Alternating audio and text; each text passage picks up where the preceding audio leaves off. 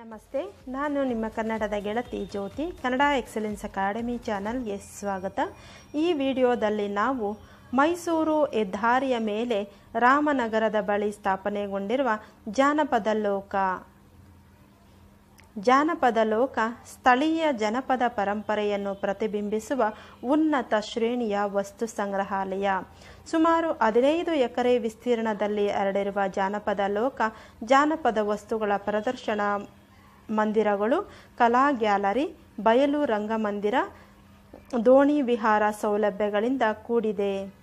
ಕೆರೆ ಹಾಗೂ ಉಪಹಾರ ಮಂದಿರವನ್ನು ಒಳಗೊಂಡಿದೆ.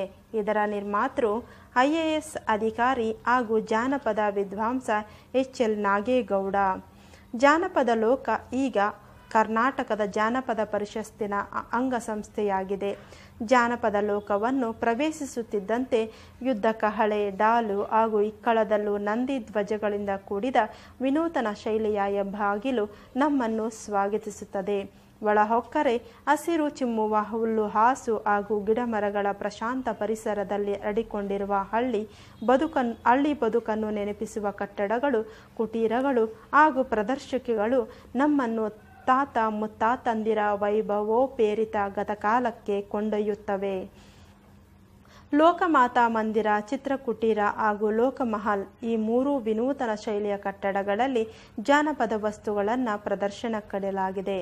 ಹೊರನೋಟಕ್ಕೆ ಮಲೆನಾಡಿನ ಮನೆಯಂತೆ ತೋರುವ ಲೋಕಮಾತಾ ಮಂದಿರದ ಒಳಗೆ ಹೆಜ್ಜೆ ಇಡುತ್ತಿದ್ದಂತೆ ದೀವರ ಜನಾಂಗ ಮದುವೆಗಳಲ್ಲಿ ಮನೆ ಗೋಡೆಯ ಮೇಲೆ ಬರೆಯುವ ಹಸೆಗೋಡೆ ಚಿತ್ತಾರಗಳು ಮಣಿ ಕುಸುರಿ ಪಟಗಳು, ಶತಮಾನದ ಹಿಂದಿನ ಗ್ಲಾಸ್ ಪೇಂಟಿಂಗ್, ಪೇಂಟಿಂಗ್ಗಳು ನಮ್ಮನ್ನು ಆಕರ್ಷಿಸುತ್ತವೆ. ಮುಂದೆ ಸಾಗುತ್ತಿದ್ದಂತೆ ನಮ್ಮ ಪೂರ್ವಜರು ಬಳಸುತ್ತಿದ್ದ ಈಗ ಕಣ್ಮರೆಯಾಗಿರುವ ಅನೇಕ ಅಪರೂಪದ ವಸ್ತುಗಳ ರಮ್ಯ ಲೋಕ ತೆರೆದುಕೊಳ್ಳುತ್ತದೆ. ನಮ್ಮ ಪೂರ್ವಜರು ಬಳಸುತ್ತಿದ್ದ ಅನೇಕ ವಸ್ತು ಸಾಮಗ್ರಿಗಳು, ಹಳ್ಳಿ ಬದುಕಿನ ಹಲವು ಮುಖಗಳು ಕಣ್ಮುಂದೆ ತೆರೆಯುತ್ತವೆ. ಚಿತ್ರ ಕುಟೂರ ಕುಟೀರದಲ್ಲಿ ಜನಪದರ ಜೀವನ ಕ್ರಮಕ್ಕೆ ಸಂಬಂಧಿಸಿದ ಛಾಯಾಚಿತ್ರಗಳನ್ನು ಪ್ರದರ್ಶಿ, ಪ್ರದರ್ಶಿಸಲಾಗಿದೆ. ಕರ್ನಾಟಕದ ವಿವಿಧ ಬುಡಕಟ್ಟುಗಳು, ಜನಪದ ವೃತ್ತಿಗ, ವೃತ್ತಗ, ವೃತ್ತಿ ಗಾಯಕರು, ಜನಪದ ಕಲೆಗಳು, ಹಬ್ಬ ಆಚರಣೆಗಳು, ತೆಂಕುತಿಟ್ಟು, ಯಕ್ಷಗಾನದ ವೇಷಭೂಷಣಗಳು ಮುಂತಾದವು ಕುರಿತು ಕುರಿತ ಸಚಿತ್ರ ವಿವರಣೆಗಳು ನಾಡಿನ ಭವ್ಯ ಸಂಸ್ಕೃ, ಸಂಸ್ಕೃತಿಯ ಮೇಲೆ ಬೆಳಕು ಚೆಲ್ಲುತ್ತವೆ. ಲೋಕಮಹಲ್ ಎರಡಂತಸ್ತಿನ ಕಟ್ಟಡ. ನೆಲ ಅಂತಸ್ತಿನಲ್ಲಿ ಭೂತಾರಾಧನೆಯ ಮಾದರಿ ವಿಗ್ರಹಗಳು, ದಸರಾ ಗೊಂಬೆಗಳು, ಪೌರಾಣಿಕ ಪ್ರಾಣಿಗಳು ವಿವಿಧ ಬಗೆಯ ಮರ ಮತ್ತು ಲೋಹದ ದೀಪಸ್ತಂಭಗಳು, ಇಂದಿನ ತಲೆಮಾರಿನವರು ಬಳಸುತ್ತಿದ್ದ ಅಳತೆ ಸಾಧನಗಳು, ಮರದ ಅಡುಗೆ ಸಾಧನಗಳು ಮುಂತಾದವನ್ನ ಕಾಣಬಹುದು. ಈ ಪೈಕಿ ಲೋಕಮಹಲ್ನ ಮೇಲಂತಸ್ತಿನಲ್ಲಿ ಸೂತ್ರದ ಗೊಂಬೆಗಳ ಹಾಗೂ ಮಾದರಿಗಳನ್ನು ತೂಗು ಹಾಕಲಾಗಿದೆ. ಇನ್ನು ಜನಪದ ಕಲೆಗಳಲ್ಲಿ ಬಳಸುತ್ತಿದ್ದ ವಾದ್ಯ ಸಲಕರಣೆಗಳಲ್ಲೂ ವೈವಿಧ್ಯತೆ ಇತ್ತು. ಮದ್ದಲೆ ಡಮರುಗ, ಹರೆ, ತಮಟೆ, ದಪ್ಪು, ನಗಾರಿ, ದಮ್ಮಡಿ ಇವೆಲ್ಲವೂ ಚರ್ಮದ ವಾದ್ಯಗಳೇ ಆಗಿದ್ದರೂ ಅವುಗಳನ್ನು ನುಡಿಸಿದಾಗ ಒಂದೊಂದರಲ್ಲೂ ಒಂದೊಂದು ರೀತಿಯ ಶಬ್ದ ಹೊರಹೊಮ್ಮುತ್ತದೆ. ಊದುವ ವಾದ್ಯಗಳು ಅಷ್ಟೇ. ಮುಖವೀಣೆ, ಪುಂಗಿ, ಮೌರಿ, ಶ್ರುತಿ, ಫಾಂಕಿ ಹೀಗೆ ಪ್ರತಿಯೊಂದರಲ್ಲೂ ಅದರದೇ ಆದ ನಾದ. ಇವಲ್ಲದೆ ಹಲವು ಬಗೆಯ ತಂತಿ ಹಾಗೂ ತಾಳವಾದ್ಯಗಳನ್ನು ಇಲ್ಲಿ ಕಾಣಬಹುದಾಗಿದೆ. ಇವು ನಮ್ಮ ಜನಪದರ ಸಂಗೀತ ಜ್ಞಾನ ಹಾಗೂ ಕಲಾ ವೈಭವಕ್ಕೆ ಸಾಕ್ಷಿಯಾಗಿ ಉಳಿದಿವೆ.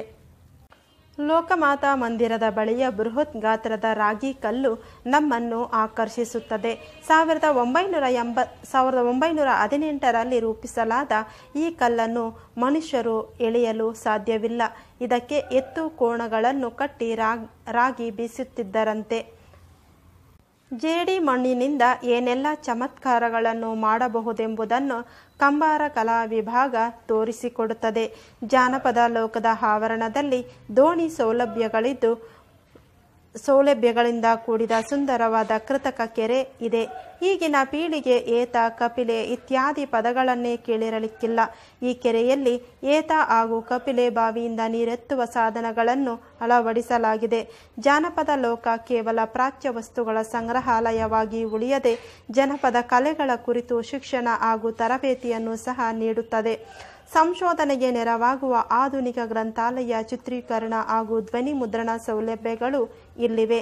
ಜಾನಪದಕ್ಕೆ ಸಂಬಂಧಿಸಿದಂತೆ ವರ್ಷವಿಡೀ ಹಲವಾರು ಕಾರ್ಯಕ್ರಮಗಳನ್ನು ಇಲ್ಲಿ ಹಮ್ಮಿ, ಹಮ್ಮಿಕೊಳ್ಳಲಾಗುತ್ತಿದೆ.